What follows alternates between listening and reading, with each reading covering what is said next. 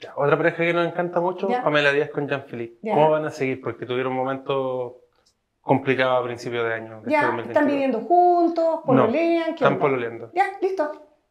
La rueda de la fortuna se mantiene, ¿listo? La relación se ve estable. Pero la torre No. es catástrofe. No, no es una relación definitiva. Ya.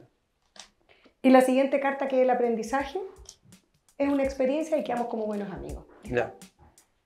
Todo termina bien, por lo menos. Sí,